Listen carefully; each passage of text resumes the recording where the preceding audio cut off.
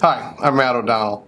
Today I'm going to explain garage door rollers to you. Uh, we sell several different rollers and different variations of them.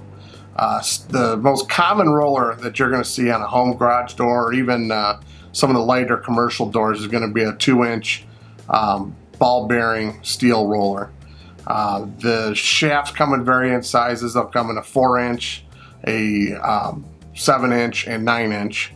And basically the reasoning for the different size shafts has to do with the way the door would flex or shift from one side to another. You want to make sure you have enough shaft sticking in that uh, they won't pop out of the track and, and uh, cause some damage. Um, a two inch roller in reality isn't two inches, it's an inch and seven eighths.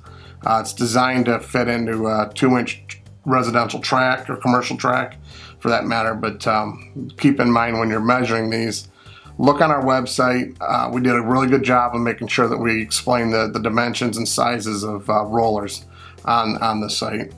Um, this is a three inch roller. Again, um, different variant uh, lengths of shafts. You can see on the two of these. Um, these are used in commercial, industrial, you know, heavy duty doors, not, not um, something you'd ever see in a residential uh, house or anything like that.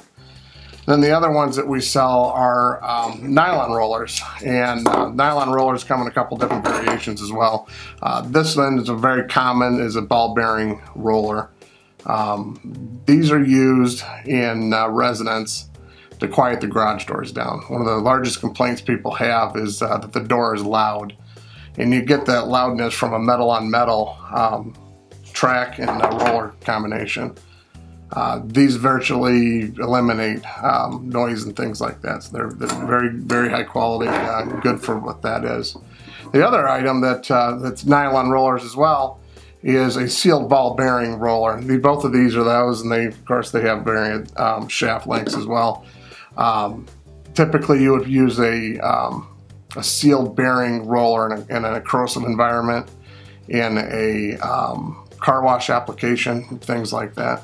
So something that uh, you'd, you'd want to keep in mind um, when you're ordering this.